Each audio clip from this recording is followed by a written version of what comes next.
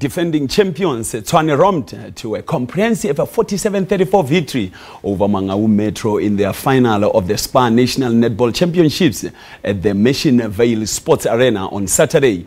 It was coach Jenny van Dyk's sixth tournament win since the National Championships in Durban last year. Jeanie van Dijk and Ine-Marie Venter are in studio tonight and they join me. Good evening ladies and welcome. Good evening. Good evening. Coach, let me start with you. Um, a six tournament win since the national championships in Durban last year. Uh, what would you attribute this to? Yes, I think um, overall we, we've worked quite a few years. Um, in the past, um, we, we, had to fail a few times um, before we actually got to these victories, and that's sometimes um, something you would miss.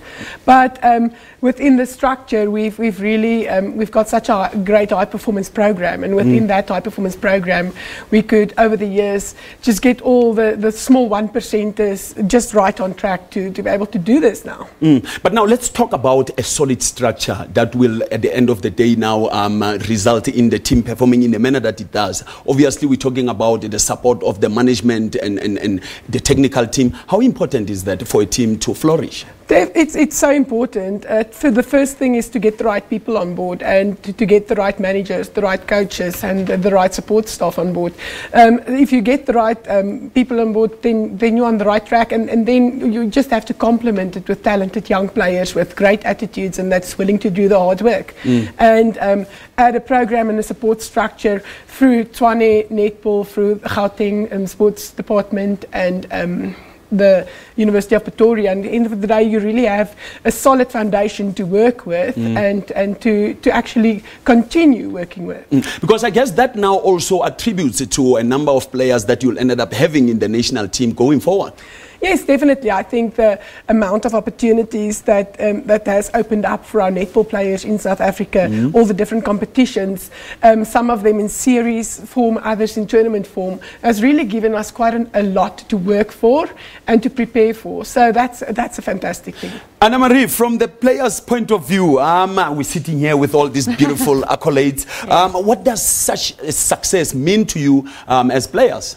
Um, I think at the beginning of the Spar National Champs, um, we had a lot of work ahead of us. Mm-hmm. And throughout the champs, it were, there were a little bit bumps in the road, but when we heard we were in the finals, it meant everything um, to our team, and we worked really hard that final game, and just to bring home the trophy again to be defending champs.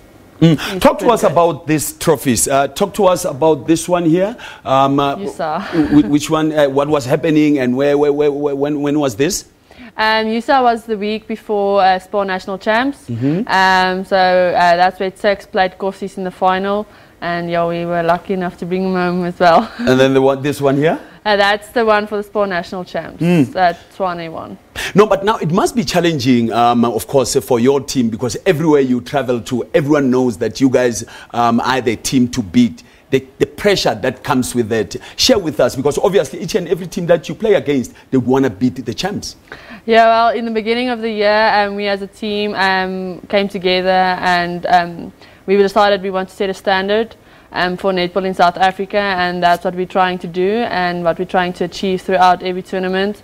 Um, so yeah, that's hard. Everybody knows your game plan and they analyze you until the very point, but that makes it better because then you have to improve on your own game plan and hopefully. Mm, Jenny, let's talk about the standard of netball in, in, in the country in the recent years. How would you describe it, um, uh, comparing it with the continent and the world at large? Well, I think we are getting there slowly but surely. Mm-hmm. Um, definitely in Africa, we're putting our hands up and we're showing that, that we are the number one country there. Um, Uganda's also doing great. But um, overall, we've got um, most of our, our Protea netball players actually playing in leagues in either New Zealand, Australia, and England. So that's fantastic. That shows that they already uh, recognize our players as top players. Mm. And the work that Norma Plummer and Nicole um, has done in the country the past few um, years has really shown us and has really um, just taken everybody to that next step. And, and even to see with the brutal fruit um, going for the, it was the fifth year that it's, it, it has been running, and you can, you can see the, the depth that we're starting to create. It took a little bit of time, and you- maybe not all the teams are as strong as they should be, but, um, but, but, but things like this take time. We, we lost three times in the finals to win the last two times. So it takes time to build up a solid structure and a good high performance program. Now let's talk about um, like, like you're talking. Um, we have you have you seems to be having a good headache. All your players. Some. I mean, I'm talking about Ine-Marie here. She's also part of the Proteas team. Um, Yes. uh, How does that now? Uh, where, where you have to now keep your players motivated because they've had so much I mean uh, good achievements over the years how do you keep them motivated Well, I think every new competition is a new opportunity for us to improve.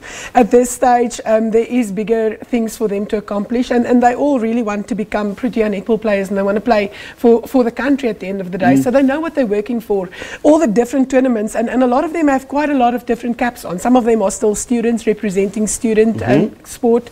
Others are already working and, and, and playing netball on the side. So, uh, so it's, it's fantastic to see that you know you get the opportunities and uh, you get time on court and I think a lot of them actually would like to, to spend one or two um, seasons overseas and, and playing in one of those leagues. Ine-Marie, um, the, the, the quality of um, netball that you play locally uh, compared to the, the, the quality of netball um, or the quality of opponents that you play uh, at the national level, how would you describe um, uh, the, the two? Well, I think if you asked me two or three years ago, I think there would have been a big difference. But I think with the help of Norma Plummer and Nicole Cusack, um, bringing in the standard that they gained in Australia of um, coaching there, I think overall the standard of netball is lifting in South Africa and coming closer and closer to that of Australia, New Zealand, and England because we are already competing with the Quad Series with uh, like with teams like that. So. I think it's improving a lot and getting closer to that standard. Share with us your future plans, immediate future plans, that is. Oh, future plans is getting my degree. Uh-huh. That's um, good. but netball plans is um, um, trying to get into the um, Protea team for the Quad Series that is going to Australia, New Zealand in September. Um, so that's the nearest plans for now. Those are, those, those are, are, are, are your future plans. Uh, ladies, thanks a lot for coming through. Thanks. Of course, um, that's Jenny van Dyk and Ine-Marie Venter joining us in studio to talk about, of course, their success. Stay with us. The show continues after this.